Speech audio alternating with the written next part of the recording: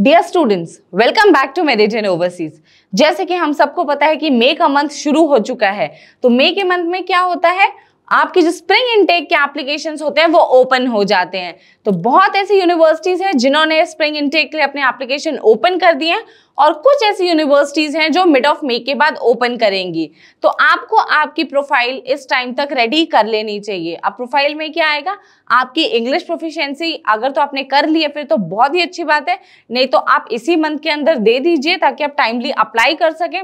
उसके साथ साथ आपकी जो डॉक्यूमेंट्स होते हैं, यानी ट्रांसक्रिप्ट हो गई मार्कशीट्स हो गई, और आपके एसओपी हो गए एल हो गए, ये सारे आपके टाइमली रेडी चाहिए। आपका डिग्री प्रोविजनल सर्टिफिकेट ये सारी चीज़ें अगर आप रेडी करके चलते हैं तो आपका वन गो में अप्लाई हो जाता है। टाइमली ऑफ़र लेटर आता है और आप टाइम से वीज़ा के लिए भी अप्लाई कर सकते हैं। कुछ ऐसे डॉक्यूमेंट्स हैं जिनमें आपको शायद उन्हें बनाने के लिए आपको किसी की सपोर्ट की भी ज़रूरत हो सकती है, जैसे एसओपी हो गया। तो उसके लिए आप हमसे कनेक्ट कर सकते हैं। हमारे एक्सपर्ट्स हैं जो आपको एसओपी के लिए गाइड कर सकते हैं। और कुछ ऐसे भी यूनिवर्सिटीज हैं जिनमें आप जब आप अप्लाई करते हैं एप्लीकेशन करते हैं, उस वक्त आपको फाइनेंशियल डॉक्यूमेंट्स भी देने पड़ते हैं। देखिए, सब में नहीं है, कुछ गिनी चुनी यूनिवर्सिटीज में है तो वो आपको एप्लीकेशन के दौरान बता दिया जाएगा। तो अगर आप स्प्रिंग इनटेक में अप्लाई करना चाहते हैं तो आप अपने डॉक्यूमेंट्स हमें application zero two eight meridian dot O पे फॉरवर्ड कर सकते हैं।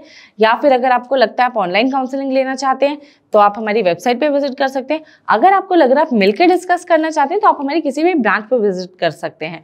और अगर आपकी कोई बहुत सी बेसिक सी क्वेरी है तो आप हमारे वीडियो में कमेंट सेक्शन में अपनी क्वेरी भी पोस्ट कर सकते हैं। तो आई होप जो मैंने आपको इन्फॉर्मेशन दी। आपके लिए काफ़ी यूजफुल रही होगी। ऐसी और यूजफुल वीडियोज़ पाने के लिए हमारे चैनल को सब्सक्राइब करें और बेलाइकन प्रेस करें। थैंक यू मिलते हैं नेक्स्ट वीडियो में।